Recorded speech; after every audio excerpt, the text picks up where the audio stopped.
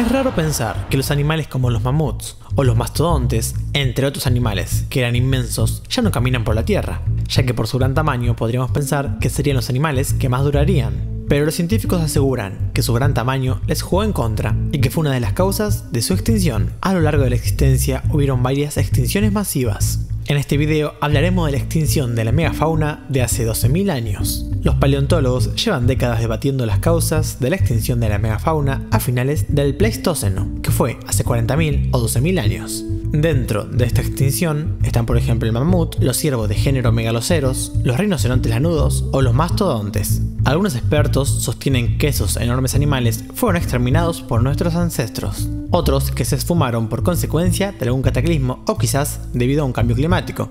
Recientemente, un equipo de científicos de la Universidad de la República en Uruguay profundiza sobre la posibilidad de que estas criaturas se extinguieron por ser demasiado grandes. También habría influido en la megafauna la disponibilidad de alimentos durante la última glaciación, especialmente en América. Expertos han comparado las necesidades nutricionales de estos animales y los recursos presentes antes y después de que se extinguieran y con esto han valorado hasta qué punto eran vulnerables las distintas especies de depredadores. De esta forma pudieron determinar que las especies mientras más grandes eran, peor se adaptaban a los cambios de dieta.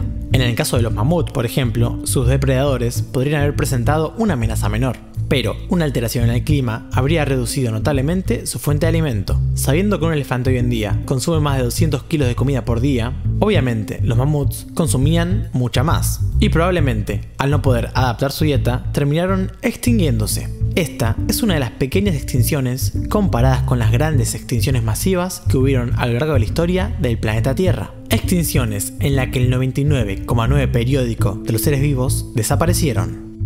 Si el video te gustó, dale me gusta y no olvides suscribirte a Usted está aquí.